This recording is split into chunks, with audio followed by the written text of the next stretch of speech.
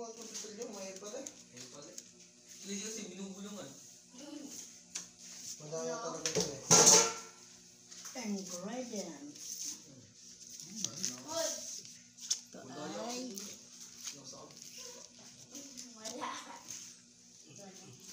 Alam ka, dito nang gagaling sa mamahalin. O, ano naman kung mamahalin? Mamahalin Pag niya, naghanap hindi kay mami pera ko. Hmm, Ikaw gumagalaw pa ni Iya. eh.